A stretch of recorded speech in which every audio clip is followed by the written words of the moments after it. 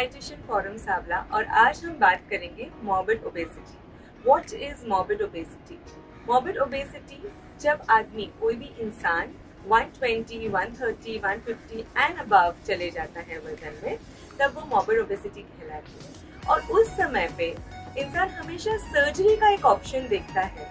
But मुझे ये video के माध्यम से आपको ये बताना है कि surgery is not the only option there is an option of diet जो लॉन्ग टर्म होगा बट डेफिनेटली आपको हेल्थ वाइज भी फ़ायदा करेगा प्लस आपका वज़न जाएगा।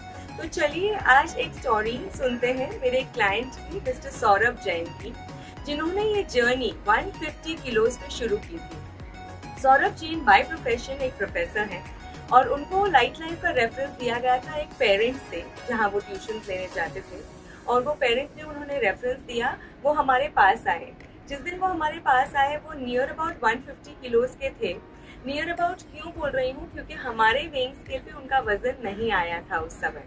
जब उन्होंने बाहर करवाया तो उन्होंने मुझे बताया कि मैं 150 किलोज का हूँ और मुझे डाइट शुरू करनी है आपके साथ। जब हमने उनका डाइट रिकॉल लिया, ये एक प्रोसीजर है, जब आप आते हैं हमारे पास, हम रिकॉल लेते हैं कि आपका डाइट प्रोसीजर अभी तक क्या है। तो उन्होंने मुझे बताया कि मेरी लाइफस्टाइल बहुत ही हेवाया है। मेरे खाने पीने का कोई समय नहीं होता है। आ, मैं कुछ भी खा लेता हूँ बाहर वीकली तीन से चार बार खाता हूँ और मैं बहुत फूडी हूँ।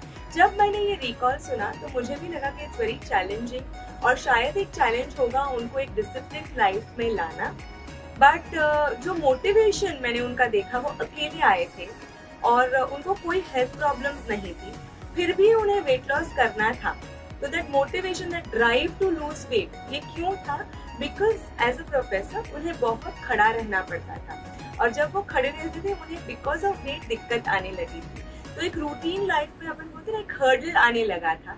इस वजह से उन्होंने एक ऑप्शन चुना that he wanted to lose weight तभी वो समय पे वो भी कंसिडर कर रहे थे कि शायद मुझे सर्जरी के लिए जाना चाहिए। But then we kind of you know told him that it is possible with diet and let's do it तो उन्होंने उनकी जर्नी शुरुआत की। पहले महीने उनको थोड़ा सा डिफ़िकल्ट रहा ये पूरा जर्नी एब्जॉर्ब करने में बिकॉज़ वो बिल्कुल समय पे नहीं खाते थे कभी कभी बिल्कुल खाना ही नहीं खाते थे।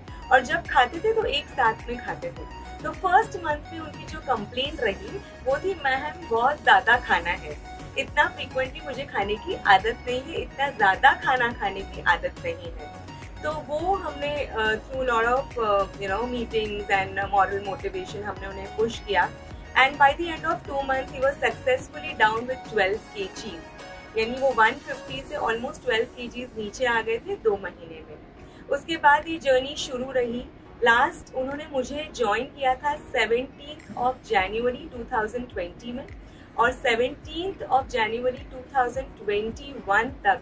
In a span of one year वो 150 किलो से 87 किलोज यानी ऑलमोस्ट 53 किलोज वेट लॉस कर चुके थे। तो ये एवरी टू मंथ की जर्नी में उन्होंने लगभग 12 से 16 किलो तक वेट लॉस किया।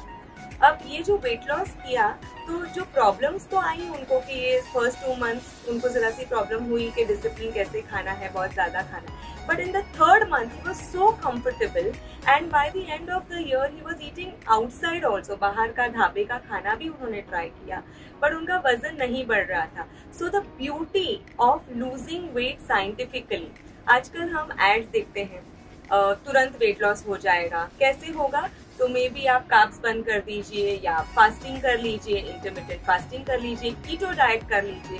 पर इन सबको मैं फैड डाइट्स मानती हूँ। फैड का मतलब आज फ़ैशन आई है, कर लीजिए, कल फ़ैशन चली जाएगी। But there is no shortcut to losing weight अगर आपको लंबे समय तक आपका वेट लॉस टिकाए रखना है, आपको अंदर से कोई बीमारी नहीं चाहिए और आपका फैट लॉस चाहिए। अगर आपकी बॉडी में जो फैट सेल्स है वो बिल्कुल चले जाए, इस तरह का अगर आपको सस्टेनेबल वेट लॉस चाहिए तो इसके लिए कोई शॉर्टकट नहीं है।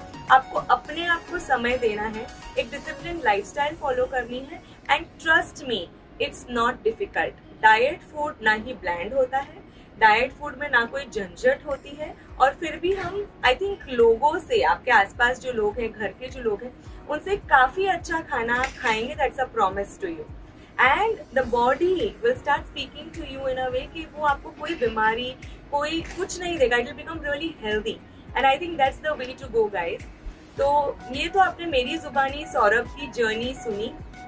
और ये आप खुद अब उनकी जुबानी सुनिए कि how was his experience with losing weight So on to Saurabh and uh, stay tuned for it. Myself Saurabh, uh, age is 26, right?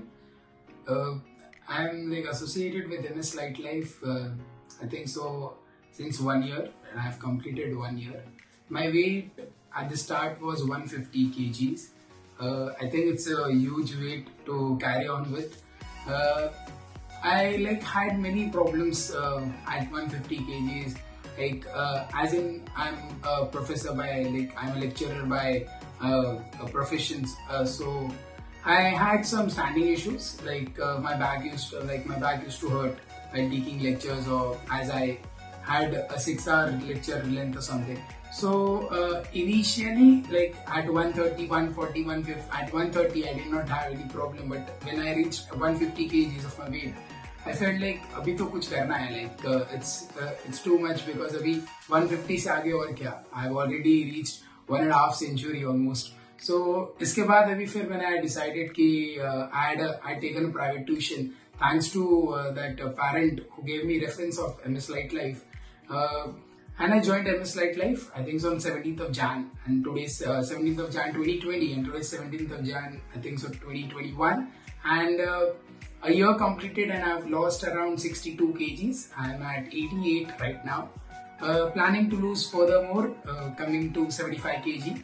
Uh, now, talking about the difficulties I faced uh, during my like entirely in my diet plan was earlier in a bit thing I was struggling because of uh, unpatterned eating I had. I had to, I, I, I was first initially eating uh, anytime which I, I thought like many of us does.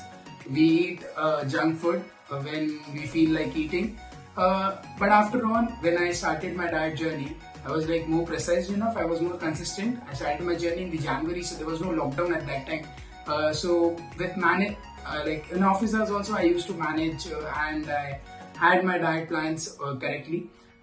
Initially, I had problem. I had struggled, but later on, I got habituated to it and. Uh, I went pretty well. After six months, I lost around half of my weight. So that was amazing, like around 30 40 kgs, and I got compliments from people that you have lost a lot. Uh, still, I can, uh, still like I thought like it was a big motivation for for me because earlier people used to say that भाई तू मोटा है और अभी ऐसा हुआ कि तूने वजन घटाया है so that was a compliment which I used to take and I used to move ahead. Uh, उसके बाद फिर initially uh, एक बार हुआ ऐसे भी हुआ कि I went out after this like in month of December I think so I went out and at that time also people think that they may gain weight because बाहर का खाना होगा. बिकॉज़ मैंने पूरा साल ऑलमोस्ट इलेवन मंथ्स मैंने घर का खाना खाया है. I had that pattern eating and everything but उसके बाद जैसे मैं बाहर गया I had two days of amazing time I ate in dhaba which uh, I think so in Rajasthan it's one of the most uh, mo- uh, memorable experience you should have. Van Vihar so I ate at dhaba तो उसके बाद भी, आने के बाद I followed some pattern eating I maintained my exercise routine over there also I work for N R also तो वो वो मुझे बहुत मदद किया और वो जनरली जब भी मैं आया वापस I thought that I would have gain weight but जैसे I was surprise and I was at that feel it thanks to M light life specially Forum Sawla to help me to get this journey as a disparity needed it And uh, thank you very much for